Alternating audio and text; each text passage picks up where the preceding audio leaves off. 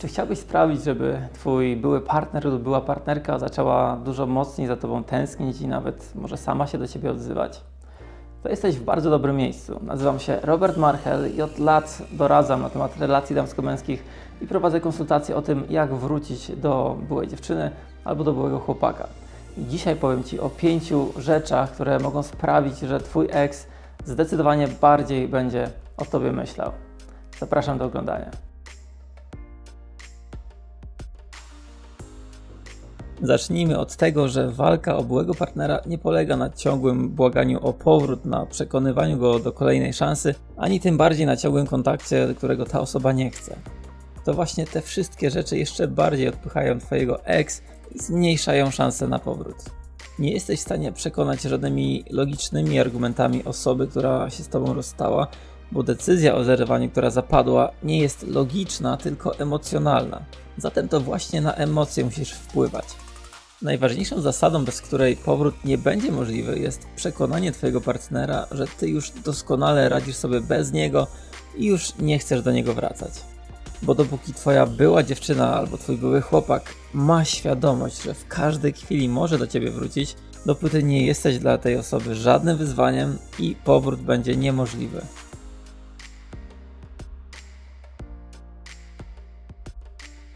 Przykładowy powrót do ex może wyglądać tak. Alina zrywa ze Zbyszkiem.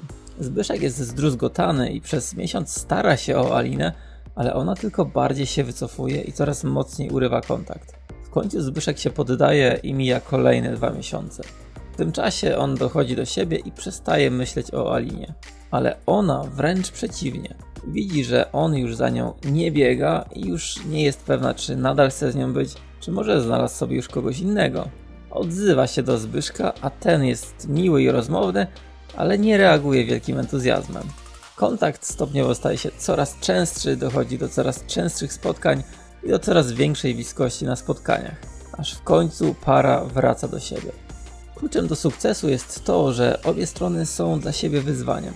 Gdyby jedna zbyt szybko się zaangażowała i przytłoczyła tym drugą stronę, to prawdopodobnie nic by z tego nie wyszło. Dlatego podstawową kwestią jest to, żeby na nowo stać się wyzwaniem dla Twojego partnera. Oto kilka zasad, które sprawią, że będzie to zdecydowanie łatwiejsze.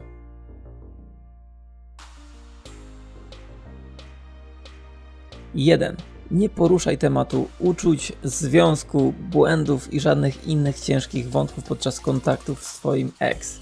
Nie wspominaj też waszych najlepszych chwil, bo to świadczy, że ciągle o nich myślisz, a skoro to wspominasz, to pewnie nadal coś czujesz i chcesz wrócić, więc nie jesteś wyzwaniem.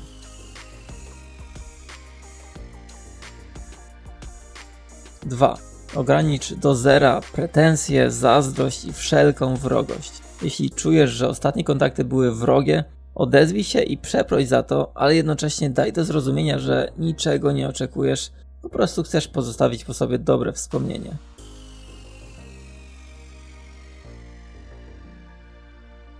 3. Pokazuj i mów o tym, że już nie cierpisz po rozstaniu i nie będziesz się starał. Taki obraz ciebie powinieneś budować nie tylko bezpośrednio u swojego ex, ale też u wszystkich wspólnych znajomych, którzy mogą mówić twojemu byłemu partnerowi o tym, że u ciebie wszystko dobrze.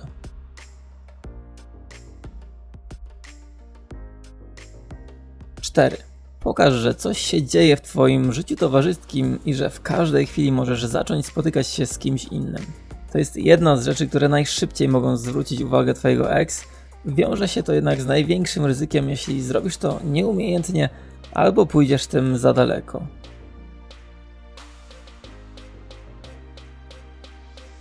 Pięć. Ogranicz lub być może nawet zupełnie zerwij kontakt na jakiś czas. To jest niestety bardzo indywidualna sytuacja i nie ma jednej recepty dla wszystkich, jak bardzo trzeba ograniczyć albo na jak długo zerwać kontakt. Będziesz potrzebował trochę wyczucia i więcej wiedzy na temat relacji. To wideo to zaledwie kropla w morzu całej wiedzy, którą powinieneś zdobyć, jeśli naprawdę tak drastycznie chcesz zwiększyć swoje szanse na odzyskanie swojej byłej partnerki czy byłego partnera. Dlatego już teraz zapraszam Cię po więcej wiedzy na zupełnie bezpłatne szkolenie jak odzyskać ex, poznać 6 najważniejszych zasad. To jest szkolenie online, które odbywa się cyklicznie Żeby sprawdzić szczegóły i najbliższy termin e, tego szkolenia, wejdź na stronę odzyskajex.jakzdobywać.pl. Do zobaczenia. Robert Marchel.